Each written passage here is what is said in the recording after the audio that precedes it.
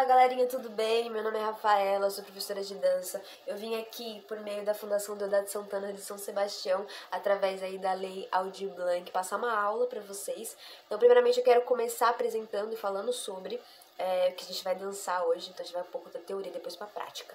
Então, é o dance hall, né, que é, na, na verdade, ele é uma cultura então muita gente entende o dancehall aí como danças urbanas. É claro que ele se encaixa também, mas antes a gente precisa entender que existe uma cultura por trás de tudo isso. Então é uma cultura afro-jamaicana. Então ela, ela se desenvolveu e sua origem é em Kingston, né, na Jamaica. E então a gente já começa a entender é, que é uma cultura é, africana. Então essas culturas que são de origem africana, têm a sua energia para a terra, então sempre com as pernas flexionadas, né? Então a gente vê essa força e resistência dos negros. Então, na Jamaica, falando um pouco sobre a historiologia da Jamaica, né?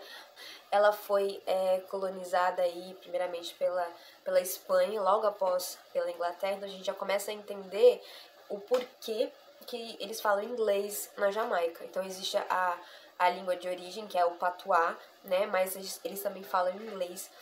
É aquela mesma história que aconteceu aqui no Brasil, né? Que vieram os negros escravizados para o Brasil e aqui desenvolveu, por exemplo, a nossa capoeira, né? Que é o afro, o afro brasileiro, a nossa capoeira, né? Que vieram, foi criada por negros, mas foi, foi criada aqui no Brasil. E assim aconteceu a mesma coisa na Jamaica.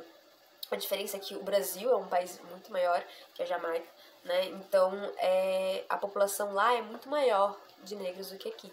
Então, o dancehall se desenvolveu pelos negros. Então, foram é, é uma cultura afro-jamaicana.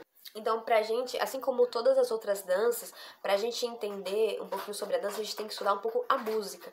Porque a maioria das, das danças são influenciadas pela música, né? Assim como no hip hop, assim como é, vários outros estilos. O dancehall isso é muito presente, né? Então a gente tem que entender um pouquinho é, lá pros anos 60, anos 70, anos 80, que quando começou a surgir outros estilos, né? Outros estilos musicais.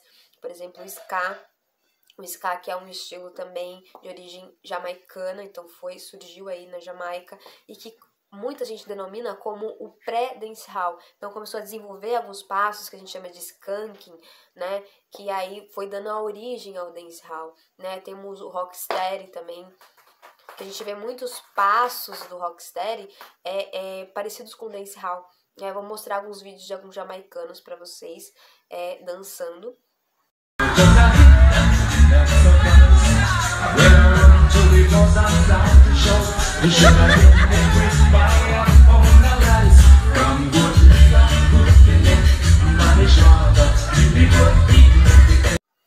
Então, a partir daí, a partir desses outros estilos, começou a surgir o dancehall dentro das, das festas jamaicanas, dentro das sound systems, né? Porque isso existia muito na Jamaica. Na Jamaica. Essas sound systems eram como se fosse, é, no português, sistema de sons, é como se fosse a rádio daquele daquele lugar. Então, como era um país muito muito pobre, né? Então, as rádios eram as rádios de rua, né? Então, é, existiam uns paredões de, de som e lá as pessoas dançavam, as pessoas rimavam. Então, os toasters, os DJs começaram a rimar é, nas músicas, nas músicas é, de reggae, e começou a ficar um pouco mais ritmada a partir daí. Então, surgindo aí o dancehall. Então, é, por isso que é importante a gente entender um pouquinho sobre música para a gente entender a dança. Então, os passos sociais começaram a se desenvolver nas festas. Então, hoje em dia a gente pode ver aí é, é, pessoas que influenciaram muito dentro das festas jamaicanas no Google. Então, ele, ele, ele criou alguns passos que hoje em dia os passos é, que mais a gente vê e, e, as pessoas denominam como old school, né? Então a gente pode ver o Google Dance, Word, Word, uh, Dance, né? Around the Rose. Então são passos que a gente vê muito hoje em dia que a gente usa para estudar. Então assim a gente começa a entender um pouquinho da dança e agora a gente vai para a prática. Eu vou passar alguns passos sociais da época e um pouco do grooving e aí a gente passa por uma pequena sequência de passos pra gente poder treinar e entender um pouquinho corporal. Girl inna the pony printer, I need the girl inna the body rider.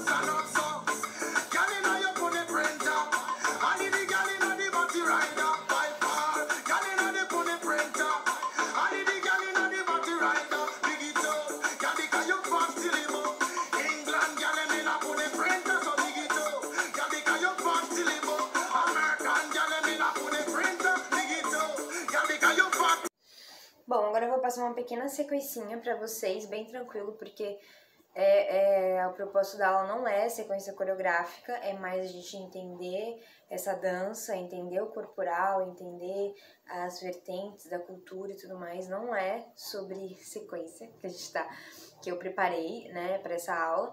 Mas no finalzinho vou passar só pra gente brincar, e se vocês quiserem mandar vídeo, manda vídeo. Então, qualquer dúvida, vocês voltam o vídeo, porque eu não vou ficar repetindo toda hora, então a gente volta o vídeo. O bom é, de aula online é que você consegue voltar o vídeo, mas a gente não tem essa energia né, é, dos alunos é, presencialmente. Mas, por um propósito bom, né? Então, vamos lá. Então, a gente vai fazer com o peito. 5, 6, 7, 8, 1. Vai subir. 1, tá? 5, 6, 7, 8, um, espera, espera, espera. Dois, de novo, tá? Então a gente vai aguardar um pouquinho e vai pisar na frente, pisar atrás e pisar na frente. Então a gente fez com a direita e a esquerda, tá? Então fez um, dois, três, quatro, cinco, seis, sete, oito. Pisa, pisa, pisa, pisa. Ok? Cinco, seis, sete, oito. Pisa, pisa, pisa, pisa. Um, os braços vai fazer esse movimento circular e volta. 5, 6, 7, 8, 1, 2, 3, 4. Ok? Então a gente subiu aqui e 1, 2, 3, 4. Então são três movimentos com o peito. Então a gente está aqui atrás. A gente subiu e 1, 2, 3, 4. Três movimentos. 5, 6, 7. Vamos daqui, ó. 3. Um, dois, três, quatro e cinco, seis, sete, oito. Daqui vai pisar. Pisa, pisa, pisa e pisa. Então, direita, esquerda, direita, esquerda, direita. Ok? Cinco sempre com as pernas flexionadas. Lembra disso, hein? Cinco, seis, sete, oito. Pisa, pisa, pisa e pisa. Cinco, seis, sete, oito. Direita, esquerda, direita, esquerda, direita. Ok? Então, o nosso o movimento com o tronco vai ser lateral. Foi o que eu passei no aquecimento para vocês. Então, vamos lá. 5, 6, acompanha com a perna. 5, 6, 7, a gente vai fazer direita, esquerda, direita, esquerda, direita. Ok? 5, 6, 7, 8, direita, esquerda, direita, esquerda, direita. Acompanha os dois agora. 5, 6, 7, 8, 1, 2, 3 e 4. E 5. Epa, tem uma perninha aqui depois. Fez 1, 2, 3, 4 voltas 5, tá? 5, 6, 7. Vamos no começo? 5, 6, 7, 8 e peito. Espera, espera, espera. E peito, vai esperar, vai esperar e vai entrar. Fez 1, 2, 3, 4, 5, 6, 7, 8. E 1, e 2, e 3, e 4, e 5. Quando a gente for no 5, na hora de voltar, a gente já vai voltar com o nosso tronco, cabeça, acompanha junto, tudo junto, tá? Então fez um, dois, três, quatro, cinco. Ok? Então vamos lá. Não entendeu? Repete de novo.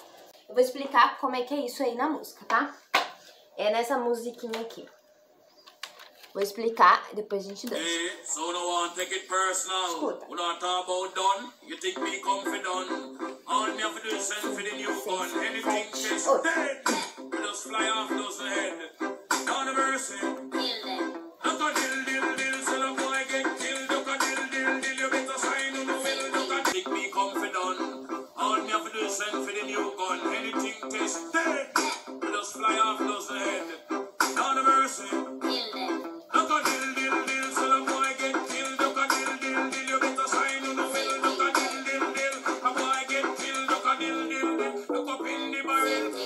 Bom, galera, espero que vocês tenham gostado da aula e mandem vídeo pra mim, se vocês não conseguirem, vocês repetem um vídeo da pequena sequencinha, tá bom? Mas nem é tanto propósito, é mais pra gente se divertir, curtir nesse momento, né, de pandemia que a gente tá passando. E é isso, gente. Um abraço e até a próxima. Virar também. Atenção, muita fé sem tirar ninguém. Periferia resiste.